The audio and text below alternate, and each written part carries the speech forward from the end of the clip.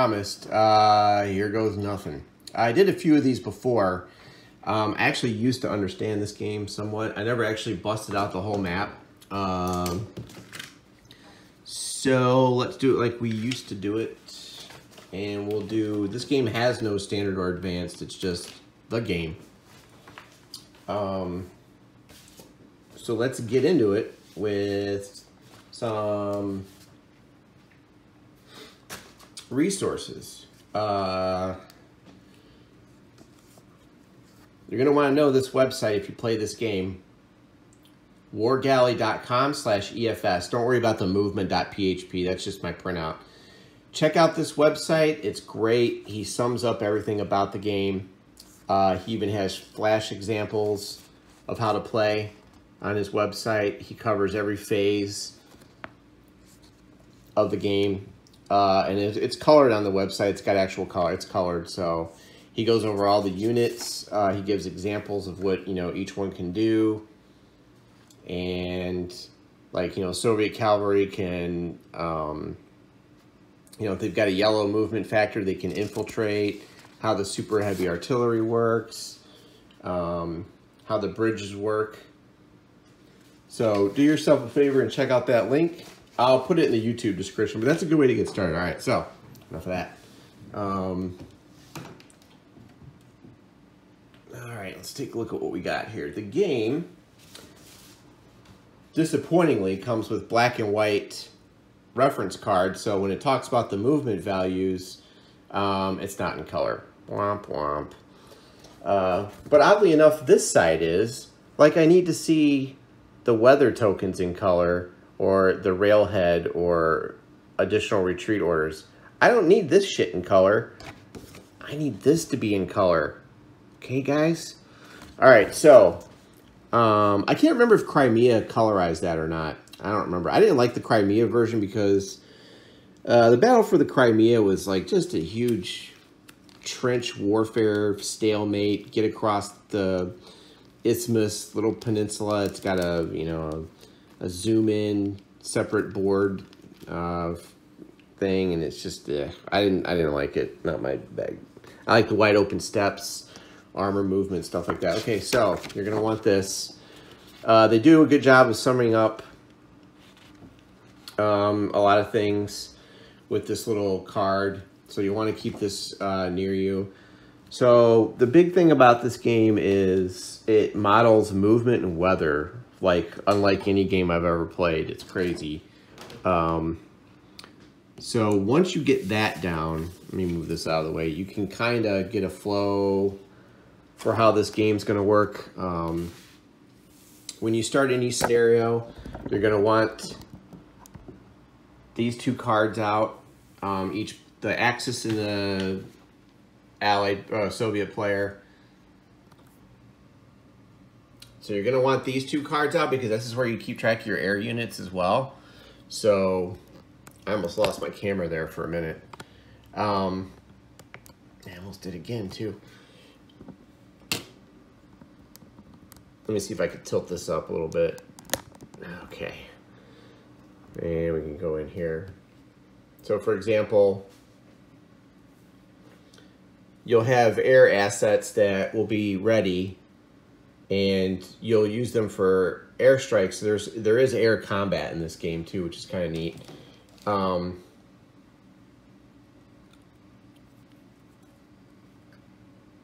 I don't know if you can see that counter. So that would be like a bomber. So they'll fly a mission, then they'll go to the flown box. And then um, you'll have to ready your air units. And you'll roll a, a die. And this will tell you if you can move it to the ready box or if it remains here. The weather will modify the roll. Um, if they're damaged, you can they go down here. And they could end up being uh, permanently destroyed. No die roll air units are moved from here, only through receipt of air replacement points or withdrawal.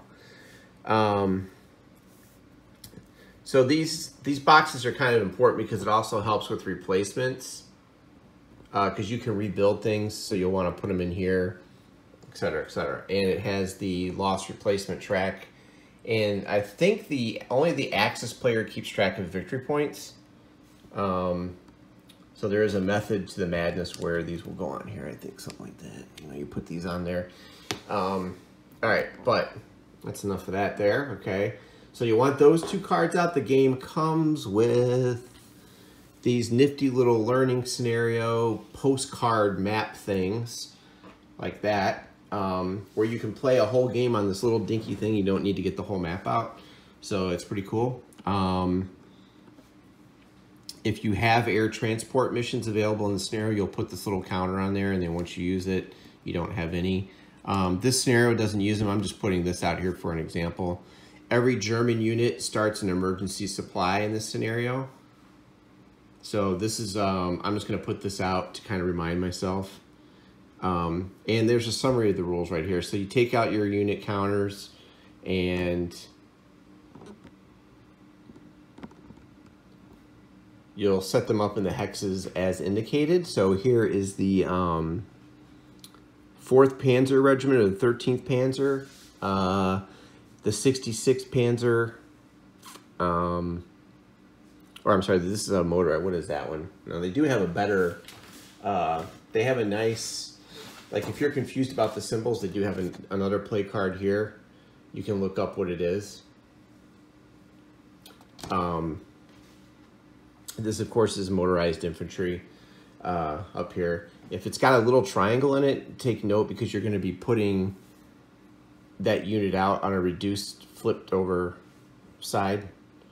So I've placed all the units um, as instructed and the game is only three turns. The, the Soviet player is going first, so you flip it to indicate they're first. Uh, and the weather is frost. You put that little marker in there.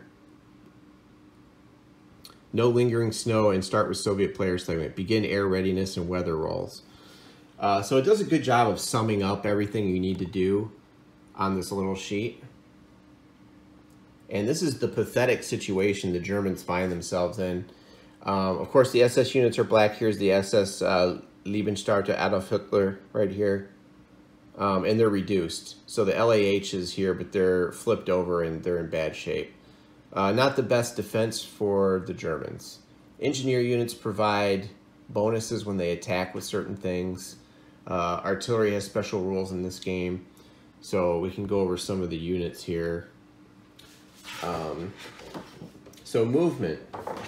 The game uh, has this bizarro, kind of cool um, setup the way it plays. Uh, it's a little bit different, so it models weather very well. So let's take a look here. Um, trying to find the best chart that I can show. So here, for example, is the expanded sequence of play. So both players do this strategic segment. Okay. Uh, they do that. Then you go to the axis player, right? You'll see axis movement. Then you see attack declaration. The Soviets can react. There's a combat phase. Okay, you just kind of follow along here. There's a motorized movement phase. What you're saying? That's odd. Two movement phases. Then there's engineering phase. And then the Soviet player does their thing. So, the Soviet motorized movement phase. All right. Conduct ground unit movement. Unit types allowed to move are refer to the chart. So here's the chart of life in this game. Uh, this is what you're going to want to learn as soon as I find it. I will show you the chart of life as soon as I get organized. Any day now. Any day I get organized, that'll be great. Okay. Give me a second. That is not it. Anytime I want to get organized. There we go. All right. This is going to be hard to capture, but let me just tilt this down a wee bit. Zoom in maybe. Okay.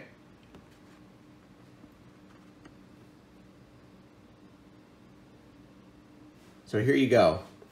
When it's the movement phase, and it's the Soviet motorized phase, right?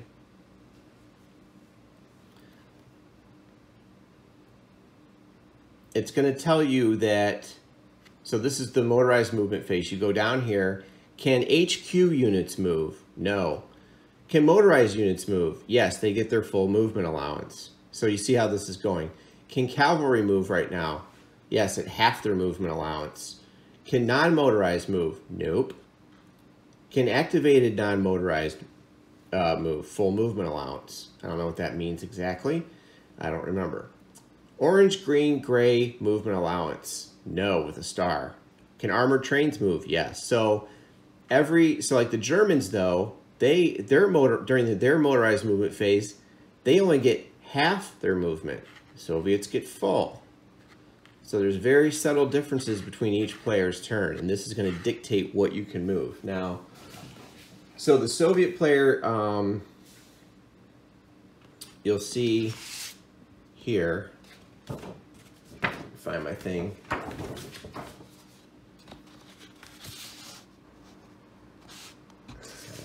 Uh, right here. Motorized movement is going to have this box around the number. What color is it, you ask? I don't know because it's printed in black and white. It's actually a red box. Um, a good example of that, let me take one off the board here. Obviously, this is motorized because it's an armored unit. Uh, red box. See that? There's a red box around the movement. They're going to have that. Anything in the Soviet motorized phase that's got that red box around that last movement, it's uh, your standard um, attack, def uh, def attack defense move, stacking number, and designation. So you'll be familiar with the stacking numbers from Next War Poland. Okay, so any Soviet unit with the red box during the motorized phase can move.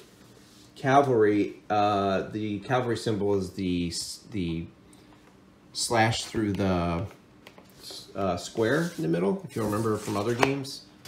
Um, right there. So cavalry is allowed to move half here. Um, let's find some German motorized.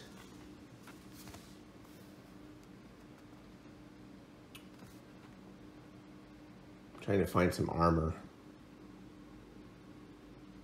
Yeah, like something like that. I haven't punched all these yet. So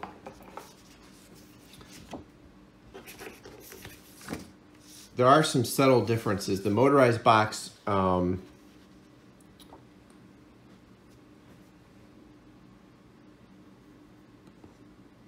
the the last number will have a box around it. Now, if the actual movement number is yellow, okay, that means that, unit can infiltrate.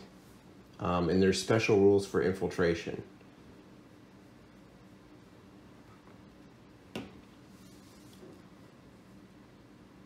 And if the actual movement code is orange, it's non-motorized paying motorized movement costs. Um, for example, uh, orange. And here's motorized because it's got the box around it. Um,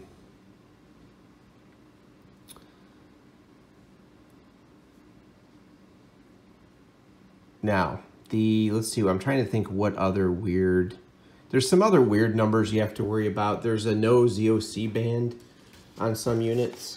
Um, you'll see a, a yellow band across the top here. I'm trying to think of a good, like that. And that just means that they don't exert a zone of control around the unit and the Soviet HQs are very important in this game. Um, they flip over when they're non-operational, so they're just showing that right here. And then you've got supply supply dumps that you can move. You can take, I think, two of these and flip it over and make a supply dump, if I'm not mistaken. and you can trace supply to it. Uh, supply rules are very complex in this game. Well, not very complex, but they're they're well done. So the game really simulates weather, roads, road movement, you know, mud and supply. That's the that's the key things. You must when you attack, you use supply. You must plan ahead. You must plan your attacks like they had to. You must say, I don't have enough supply to do this attack. I can do this attack. So you've got to really think about it. Um, the stacking value is the amount of ground units uh, that can occupy a hex. Both sides, 10 stacking points is the maximum allowed in any hex. And if you're used to Next War Poland, um, you remember that this number was a, was four. The stacking limit was pretty low. Here in this game, um, it's 10 at the end of a movement or a retreat phase. Range is the number of hexes an artillery unit can be from a defender and still provide support. Artillery is very big in this game. Um, for example, here's an artillery unit right there. Um, so artillery kind of works where it kind of hangs back and provides um, support. So this artillery unit, two hexes away, can provide support. And here's more SS units um, right here. And the supply things, here's some Italian, Hungarian, Romanian.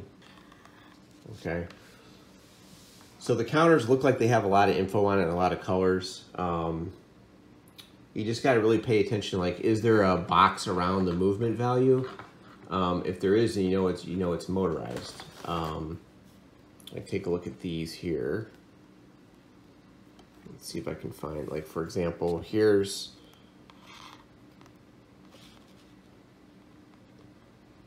Then you'll notice this has a double box. That also means something. I forget. Hold on. Um, the double box is denotes two like denotes two like-sized units combined on one counter. So I think you probably split that up. Now the game also has, the only thing I don't like is when you do step losses in this game, there's more than one it's not just a matter of flipping it over like next war Poland. You you are you will have to put on some of these counters. Okay, so the stacks can get a little bit weird. Um, you know, you, you cover them up and you got to go back and look. And all right, so if the Soviet player is going first, they're going to go to their motorized movement, and as you know, the ones right here, and they kind of summarize it for you right there. Reinforcement entry, one hex movement, armored train. Now for this scenario, there's no railroad movement or conversion, no strong point construction, no replacements. It's basically move and try to take Rostov. Okay. All right, so that's a brief, a very brief overview. What I'm gonna do when I come back for the next video, I just wanna go over what the units look like um, in this one and just let people know I'm kind of studying this game. Um, and let's take a look at some of the other stuff in here. The maps are pretty big, so I, I don't know like if I'm gonna have enough room to, you know, get the whole all these map the whole map out. Um, it could be interesting. I'll have to see. Um,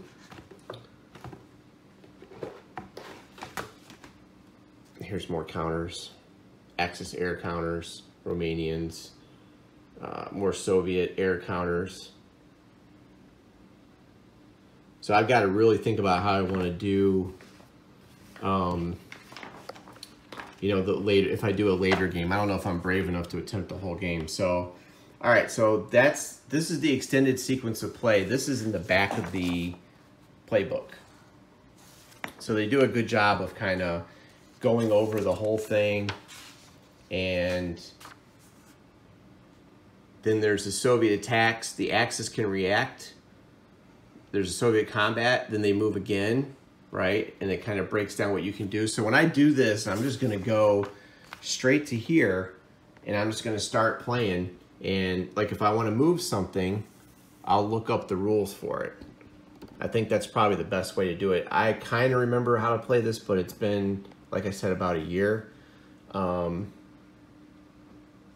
I kind of knew it a little bit, uh, but I did make a lot of mistakes the last time I played it. There's a lot of stuff to remember for each unit.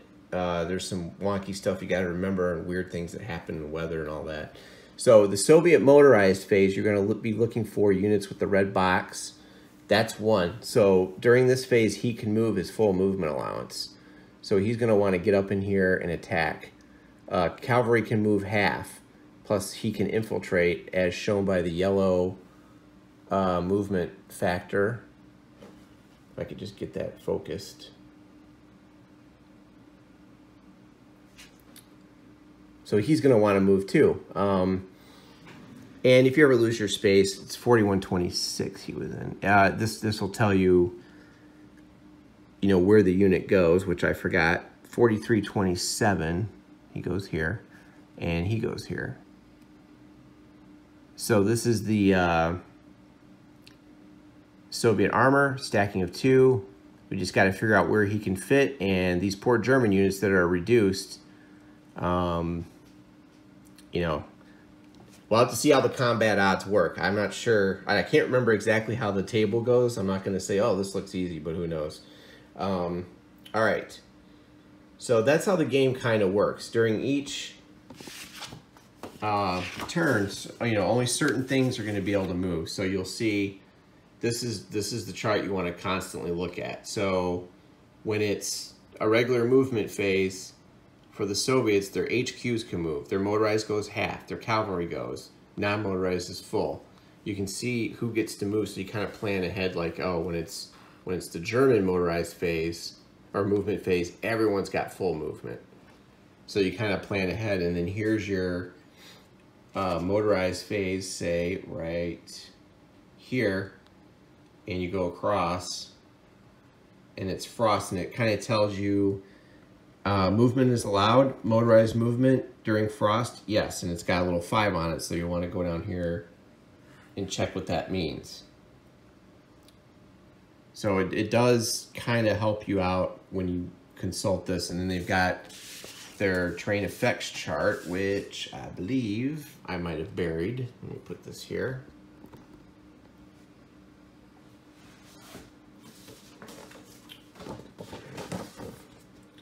yeah, terrain effects chart here, pretty basic.